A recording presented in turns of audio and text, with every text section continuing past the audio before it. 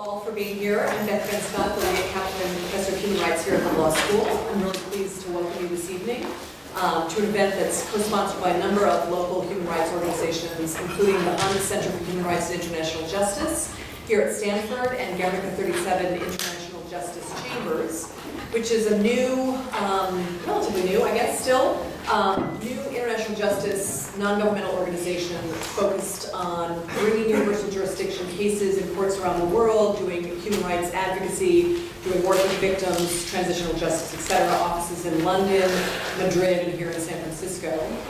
Um, I wanted to just announce our next event um, is coming up, well, there's a number of other events, and if you're on the Handa listserv, you'll get them, and if you're not, you should sign up. But um, Matthew Stubbs, who's a visiting scholar from the University of Adelaide, will be speaking on space law and human rights. He's an expert on space law, the laws of armed conflict, and military activities in space. So I hope you can join us for that. December 6th at noon. Um, location provided. so it's a secret. Um, so hopefully you can join us for that. Um, I'm really pleased to invite you all for this event. Um, we have a delegation in town for the weekend. They're doing a big workshop on reparations and victims participation at Santa Clara University School of Law, and we're really pleased that they can be here on campus to share some of the work um, of the Trust Fund for Victims at the ICC. The Trust Fund is very much a creature of a new emphasis in international criminal law on not just retributive criminal justice, but also thinking about the rehabilitation of victims, of issues around restitution, of restorative justice, and of including victims more actively into justice processes. If you think about, at least in the US system, victims and witnesses are just that. They're witnesses for the prosecution. They don't necessarily have the ability to shape the way the justice process works. And then at the back end, they're not often able to receive reparations through the criminal justice process. They have to bring a separate civil suit at times in order to receive compensation. The ICC statute, which was drafted by states, interestingly, is very forward-looking in terms of the way it's tried to mesh both the retributive, retributive elements of criminal justice and these more restorative elements by giving victims voice. They have greater participatory rights in the ICC than in other domestic systems or any other international tribunal that's out there.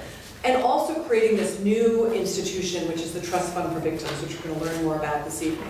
So these are some of the themes we'll be talking about. We have a terrific panel here to help discuss these. Um, first, to my immediate left is Motoo uh, Noguchi, who's the chair of the board of directors of the Trust Fund for Victims. He's also an ambassador for international judicial cooperation and has worked with the Ministry of Foreign Affairs of Japan. He's also served as an advisor to governments undergoing transitional justice processes. Um, we also have Felipe Michelini, who's um, also a member of the board of directors of the Trust Fund. He's an attorney who works on human rights and international justice issues and an honorary commissioner to the Working Group for Truth and Justice in Montevideo, um, Uruguay. And finally, to the far left, we have Erin Rosenberg, um, who's a U.S. attorney based out of in, um, Indiana. She's a legal officer at the Trust Fund for Victims, and she also teaches as an adjunct at the University of Cincinnati School of Law. Um, and I'm Beth Van Schaack uh, here at the law school. So I'd like to start, if we could, um, we're going to have this be a very kind of more of a conversation rather than a panel of separate um, presentations. We'll talk amongst ourselves for about half an hour, and then I'll open it up for questions. So feel free to save your questions um, in, uh, until about maybe a little bit after six. So first, Chairman, maybe if you would start by just talking about the origins of the Trust Fund for Victims. Um, it was created by the Rome Statute, but what inspired it? What are the origins of it? How is it structured? Maybe just some of the basic background. Uh, yes, uh, as you have described, the international criminal justice have never treated victims uh, anything more than witnesses uh, during the first several decades. And perhaps uh, next to the Cambodian extraordinary chambers, uh, the ICC is the first of such a court, which in the area of international criminal justice allowed the participation and reparations of victims in very systematic manner. Uh, the Trust Fund for Victims was established by the Rome Statute itself, according to Article 97. And it's kind of uh, autonomous institution. Uh, of course, it's an inherent uh, system, a part of the system of the Rome Statute, but outside of the three organs of the court. And in that sense, we call it autonomous organ. Um,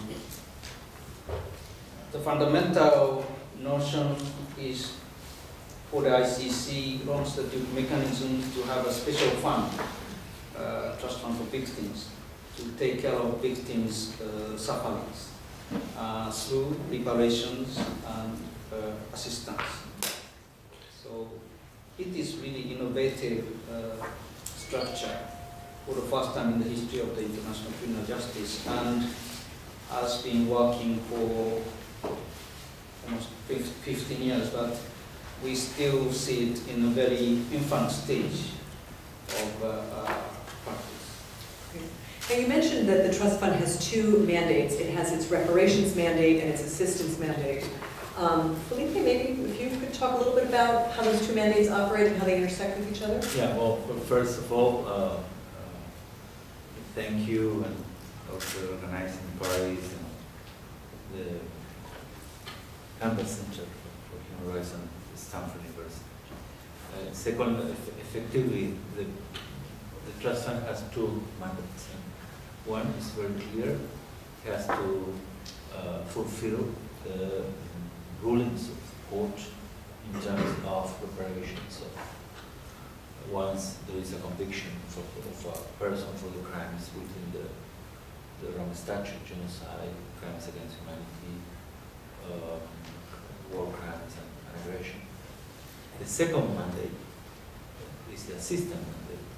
It's a very innovative, uh, I would say, uh, figure of this uh, system because uh, it represents the victims even if there is not a trial or even if there is not a conviction. Just has to be a situation within the scope and the goal of the, of the statute. So that allows the international community through the Rome Statute to reparate these huge human rights violations, not necessarily waiting for the results or outcomes of a trial. The Bemba case is clear. no? There was a, All proceedings were fulfilled. Mm, And clearly the, the, the court is not the first to act. Supposedly the state has to act. And the, the court triggered its jurisdiction if uh, the state cannot or doesn't want to prosecute.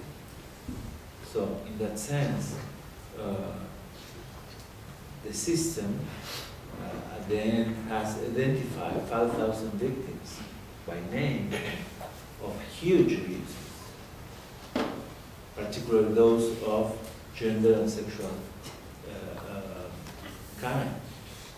And at the end, the appellate, chamber decided that the accused was not guilty. So in formal terms, there were no victims because the, the, the trial decided was not crime at all. So the system mandate allows the system of the Rome Statute to act, even though there are no uh, ruling with the punishment of, a perpetrator. Yeah, just a little by way of background for people who aren't familiar with the Bemba case, this was a case involving violence in the Central African Republic. Um, he was convicted at the trial level for command responsibility over his troops who committed a massive campaign of sexual violence and looting. Um, and the sort of theory of the case was that Bemba couldn't really pay his troops fully, and so what he essentially said was, take what's yours, right? Pay yourselves, basically, while you're in the Central African Republic. So very strong judgment out of the trial chamber that, in a startling um, outcome, was reversed on appeal. Um, and the, the judgment is quite um, controversial amongst experts on international justice because not only did it change the standard of review on appeal, making it much less deferential to the trial chamber who saw the witnesses, who had access to the case file, etc., also seeming to raise the standard of proof for command responsibility. Um, and so what's remarkable about the trust fund is it's actually not dependent, as Felipe said, on having that conviction. It can still undergo its assistance mandate in the Central African Republic, even absent that judgment. So really, this will be the only justice, I think, that these victims will see. Yeah, Erin, want to add it? Yeah, actually, maybe just to jump in on what you just said Sure. about the distinction between reparations and assistance. As uh, uh, um, Mr. Was explaining, sorry. We're on a first name basis here. was saying is that um, when the court has jurisdiction over what's called the situation, the trust fund is able to move in under its assistance mandate. What we mean by a situation is, sounds complicated, it's not. It's actually when the, the uh, procedure has moved from the preliminary examination to the investigation stage. The situation is what's defined by the prosecutor. The Bemba case, the reason why we're able to act under assistance mandate is because Bemba was acquitted um, in terms of the causal nexus having been established between the crimes and his actions, having not been established according to the appeal chamber. The crimes themselves were not overturned. And that's a really important distinction. It's not necessarily the case that the trust fund would be able to go into a situation following an acquittal um, and under its assistance mandate in all situations. Um, It is possible that, um, because the trust fund assistance mandate is linked to, as both the chairman and Felipe have said, um, addressing harms from crimes. So there does need to be that. Has the ICC implemented its reparations mandate, or sorry, has has the ICC issued reparations such that you have been able to implement your reparations mandate? Yeah, so far there has been three reparations orders. In firstly in Lubanga and then Katanga and thirdly Al Mahdi cases. And we have started uh, implementation of the first two uh, cases, uh, uh, although it- it's a partial. And for the third one, Al Mahdi case, uh, we are about to submit actually tomorrow the final draft implementation plan for Al Mahdi case. So in December last year in the AS Assembly of States Parties uh, uh, in New York, I reported to the states parties that uh, the Trust Fund for Victims have uh, started the implementation of uh, reparations orders for the first time in the history of the court. So that, that's uh, present stage, but um, having said that, uh, victims are still waiting for uh, actual uh, benefit to be arriving at them. Uh, In a similar manner to assistance mandate, the implementation of uh, reparations are procedurally very complicated, involving international competitive biddings to select implementing partners, etc. So it takes uh, much longer than victims uh, suppose for them to get the benefit.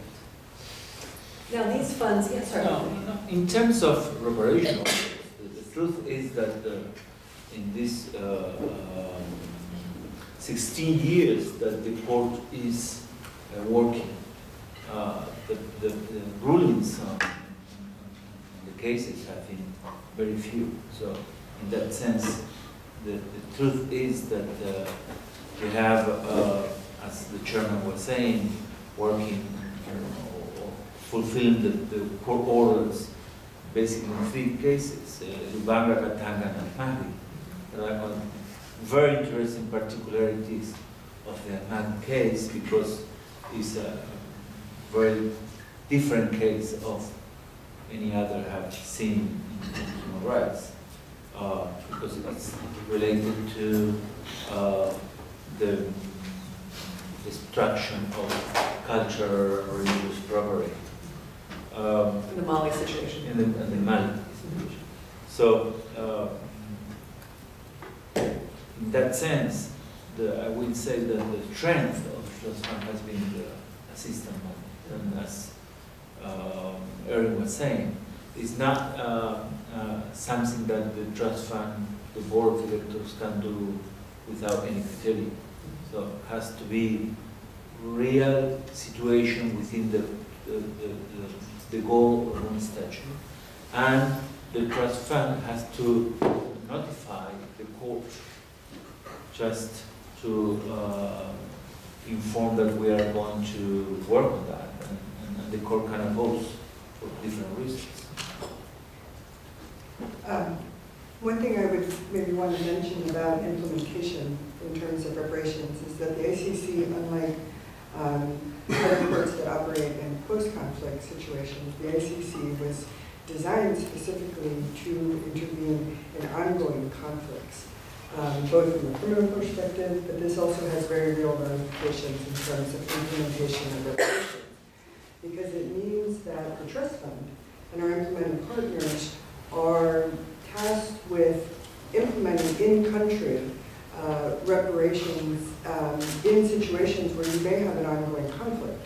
Um, That, of course, uh, is the situation in Mali, but it is also um, very much um, uh, not necessarily the same ongoing situation, but there is an ongoing situation of unrest and violence in the Democratic Republic of the Congo, which greatly affects um, the ability to implement and how we go about doing it. Um, One other minor point I would say is that reparations, and you know something about reparations because they're public, right? They're a court order. We do press releases about them. Um, But again, in terms of implementation, um, there's a issue of victim safety, security um, in relation to just criminality, not in relation to conflict. That is another implementation issue.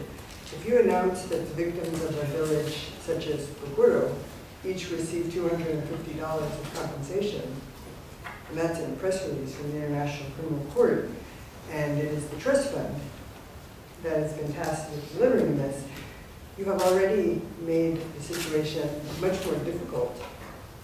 How are you now going to do that? Because every time that the trust fund shows up anywhere near Bogoro, there will be an assumption that we have money with us. Mm-hmm. Anytime a person goes to any type of event associated with the International Criminal Court, they are at risk of being robbed, potentially being injured because of the idea that perhaps they got money. So these are just some of the aspects that are very much the real, on-the-ground um, things about implementing reparations.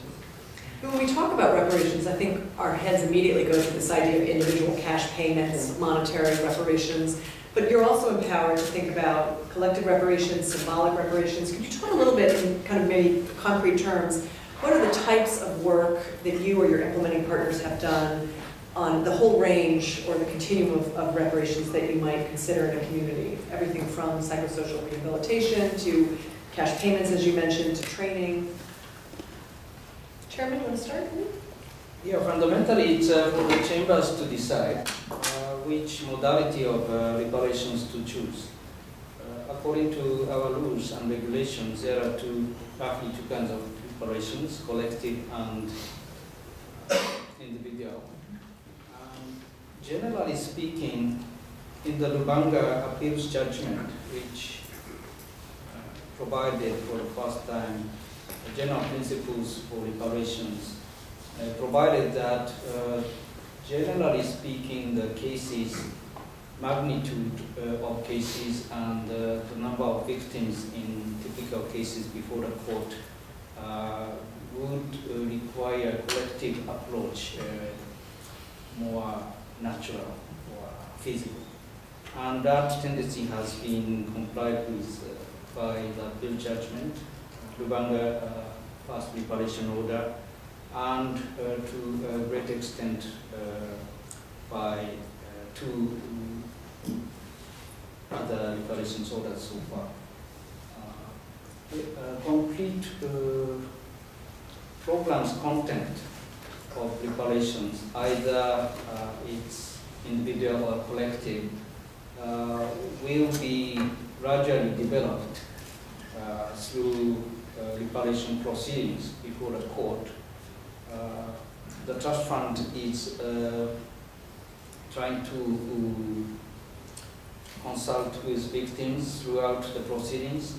In earlier stage, uh, before the reparation order is issued, it is uh, fundamentally for the victims' uh, representatives uh, to submit uh, victims' preference or the sufferings, uh, how they could be best uh, addressed.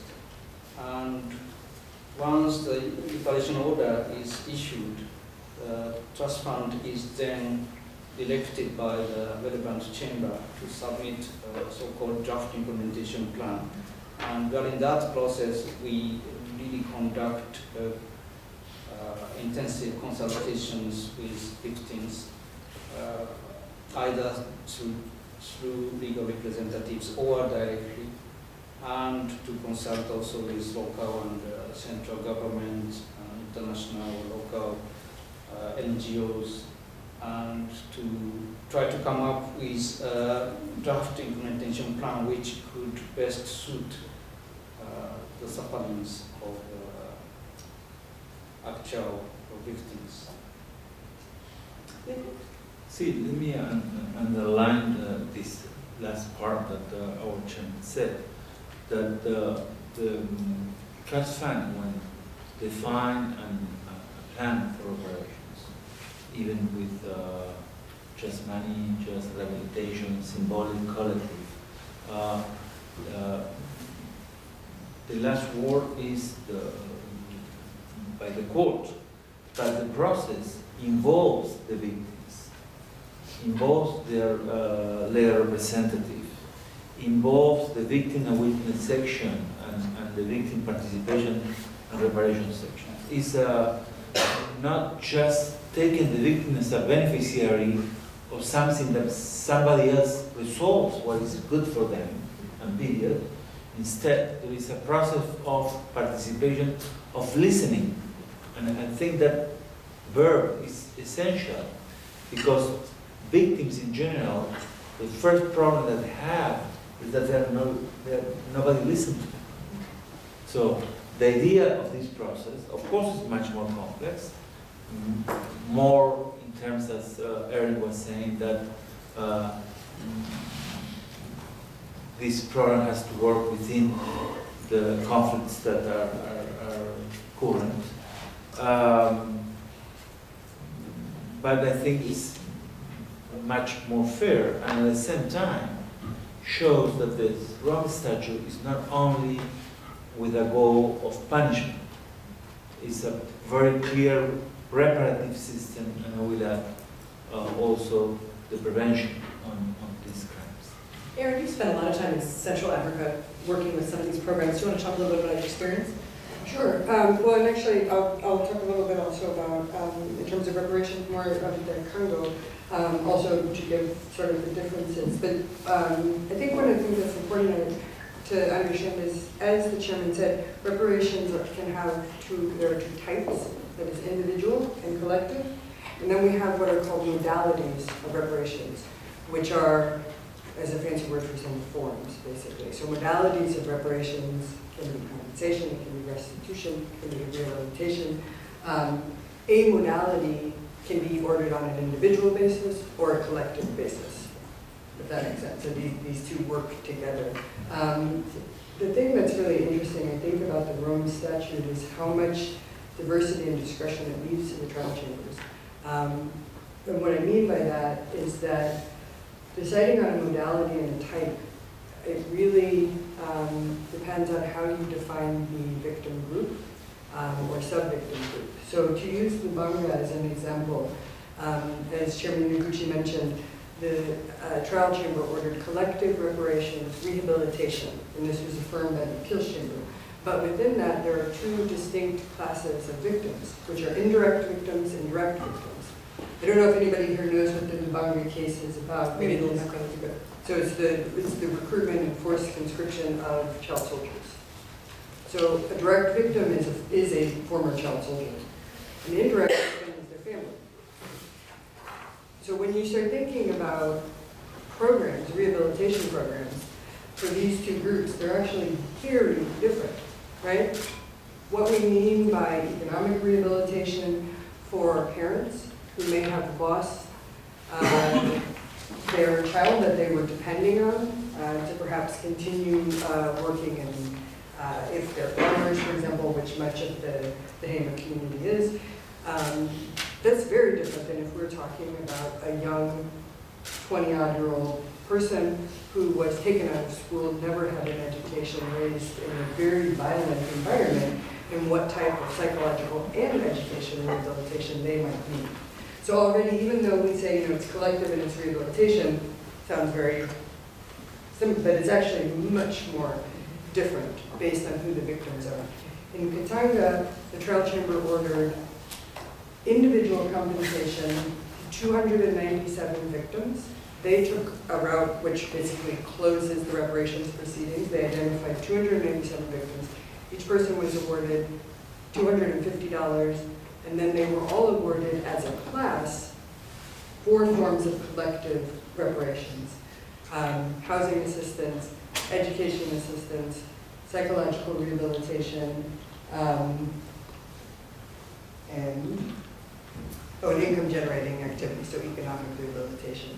Um, But again, within that, the trial chamber ordered the trust fund to design our programs taking into account the harm, both the type and degree of harm suffered by the individual.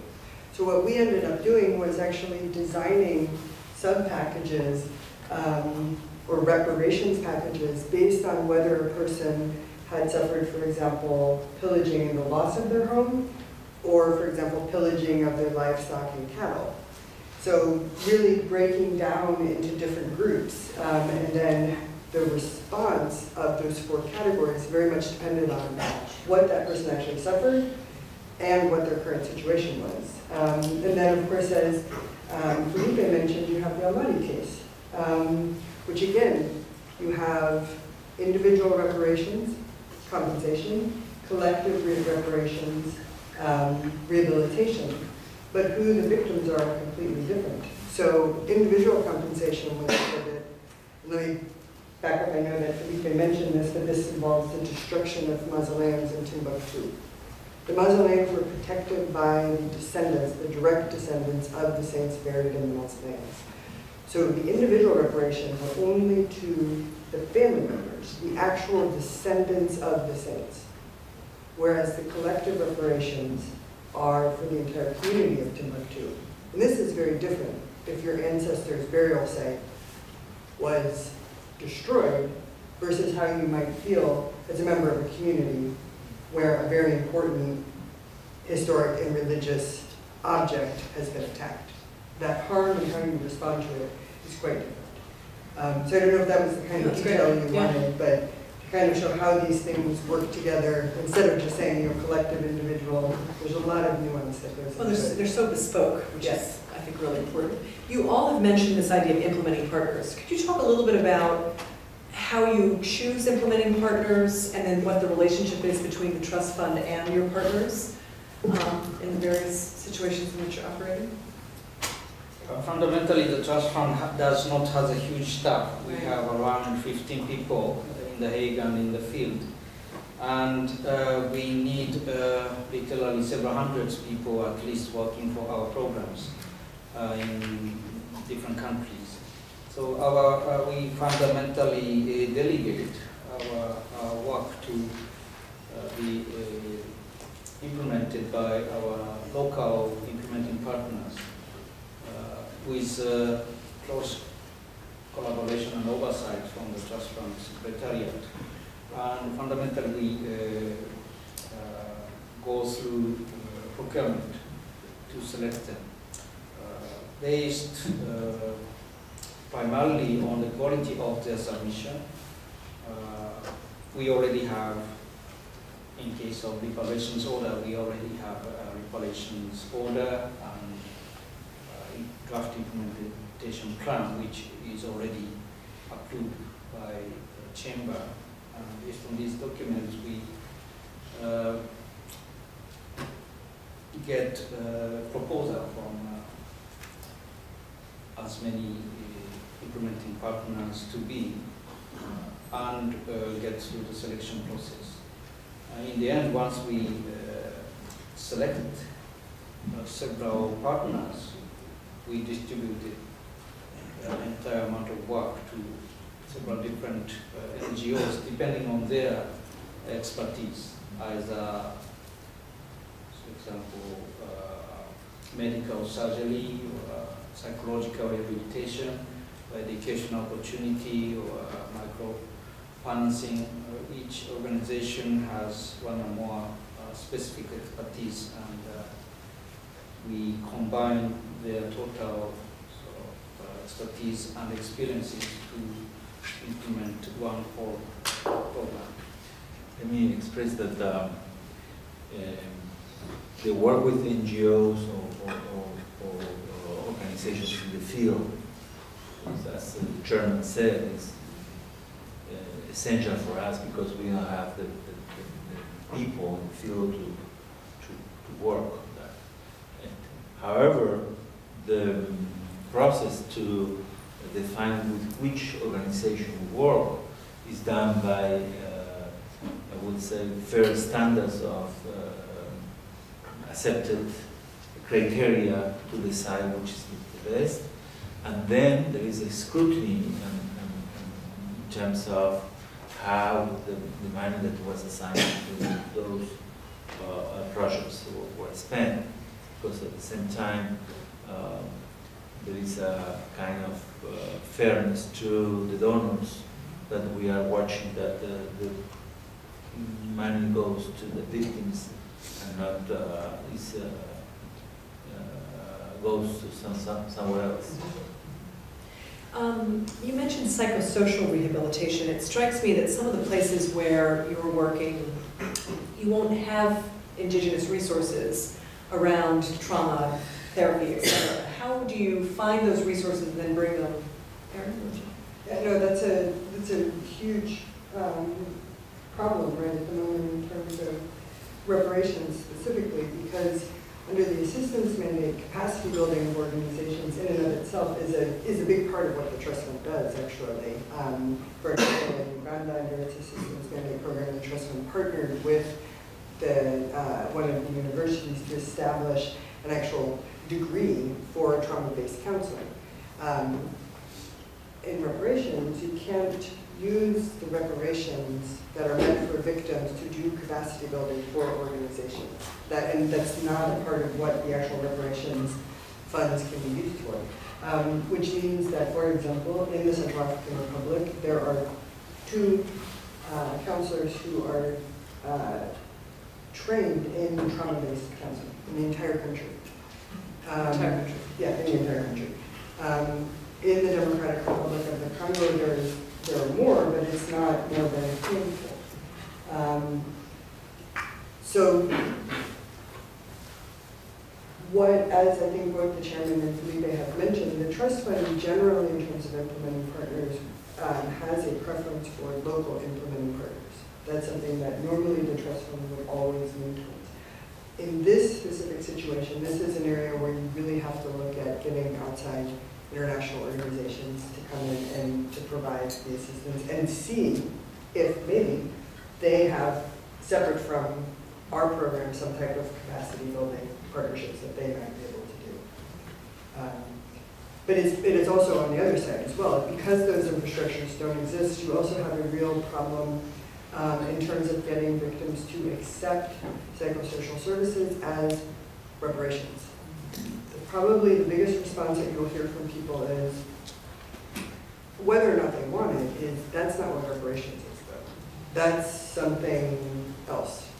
They, they don't conceptualize it necessarily as what is meant by an award for reparations.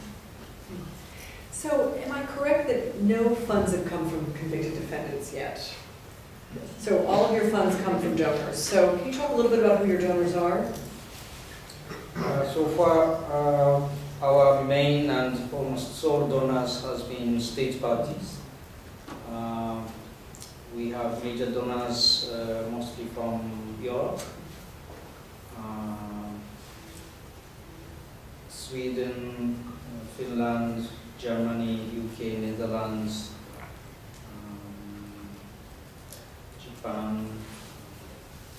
So we are getting about three to five million euro per year uh, these days. And almost entirely, we depend on the voluntary contributions from uh, these state parties. Um, That is uh, one of the uh, biggest problems for us. So the board has been working uh, to sort of strengthen the financial basis for us and uh, trying to cultivate a few more ways uh, rather than voluntary contributions from state parties, but uh, it's not very easy. Um, in terms of reparations, uh, of course, legally speaking, it is based on the liability of the convicted person. So theoretically, he or she has to pay for that. But there is a, a provision that allows the trust fund for victims to complement uh, the award uh, in case of the indigency of the convicted person. And so far, in all three cases uh, where the reparation orders have been issued, the convicted person were found indigent. And the relevant chamber uh, requested the trust fund board to consider complementing the award either a partially or and we have been able to uh, get the necessary funding uh, for Katanga reparation order in its entirety, uh, 1 million euro, uh, 1 million dollar. And for Lubanga uh, reparations order, out of 10 million dollars, we have secured uh, 3.5 million euros so far. And for Al Mahdi, uh, we have secured 50% of the total 2.7 million euro. That's the situation. If I could just take a pause and introduce Alina, one of our graduates. Um, There's some flyers floating around about an initiative that she started with a course that I taught on atrocities prevention and response, and she had a project on funding international justice. And um, she's just completed her master's in conflict transformation and social justice at um, Queen's University Belfast with a Marshall Scholarship. Um, And she created a GoFundMe site, so maybe you can talk a little bit about your project.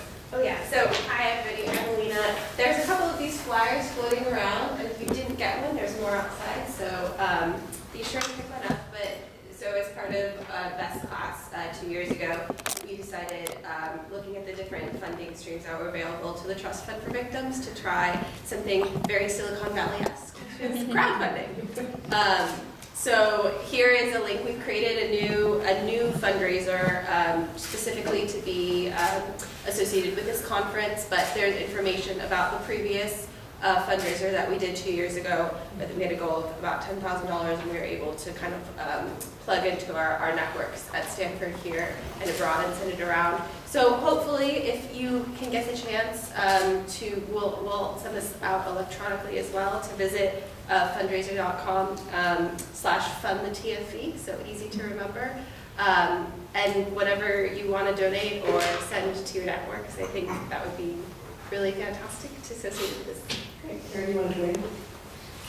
It's a fantastic initiative. I Yeah. That way, that Do way. what we can. I was gonna just mention, there are actually, uh, or there's one other way in which the trust fund can be funded, um, which is through fines and forfeitures from the criminal proceedings.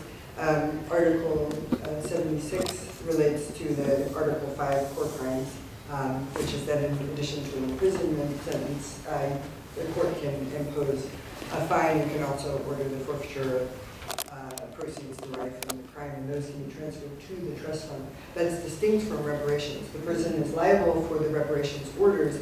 If they receive a fine, that comes to the trust fund, but it is at the trust fund's discretion as to how to use it. It doesn't get deducted from the reparations award. The other part of that is, uh, we also have the ability at the court um, to have contempt proceedings if necessary. Um, so, uh, against the uh, crimes or uh, offenses against the administration of justice. And um, these, uh, this has occurred at the ICC, and the reason why I bring this up is because uh, Jean-Pierre Bemba, who was acquitted of uh, crimes of rape, murder, and pillaging, was convicted for bribing witnesses in his case. And that conviction was upheld. And he was given a fine in the context of the contempt case of 300,000 euros as was his lawyer, who was his co-conspirator, who was fined for 30,000 euros. So that's 330,000 euros to be transferred to the trust fund. Um, Now, again, because we are a court of law, this is all on appeal. Um, So who knows when it will be final and when it'll actually end up at the trust fund. But that is another um, source of, Maybe I'll just ask, See, first, uh, the initiative of fundraising is, is great. Secondly, let me uh, express that um, now we're in a crossroad in a way, because when the, the assistance mandate started 10 years ago, it was just uh, the Uganda and Democratic Republic of Congo, basically. That's the were the two, two big cases. And, and, and, and- and now we have uh, claims, very legitimate, from Cote d'Ivoire, from Mali, from Georgia, from Central African Republic, linked to, to Burma.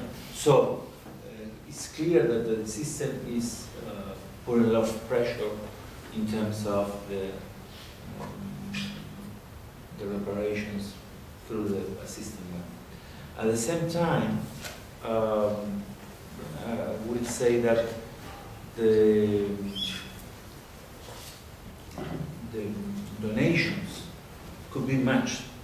So the donor could say, I will uh, put some money for a trust fund for victims of uh, sexual abuse or for rapes for children. So that's another modality that could be uh, work.